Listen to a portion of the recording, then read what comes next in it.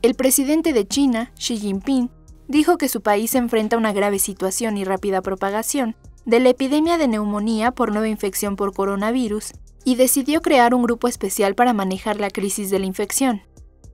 En la reunión se decidió que el Comité Central del partido estableciera un grupo líder para la respuesta a la epidemia y llevó a cabo su trabajo bajo la dirección del Comité Permanente del Buró Político del Comité Central del Partido Comunista de China, señala un comunicado difundido por la agencia de noticias Xinhua. Tras presidir la reunión de este sábado, el mandatario destacó que todos los departamentos deben poner la vida y la salud de las personas en primer lugar, formular planes exhaustivos para frenar con determinación la propagación de la epidemia.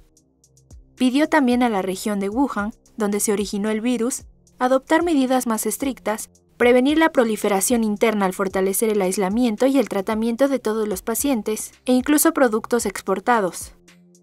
Tras una reunión del Partido Comunista Chino, se reiteró los llamados a la colaboración de los comités del partido y los gobiernos a diferentes niveles, para hacer planes adecuados que detengan la infección.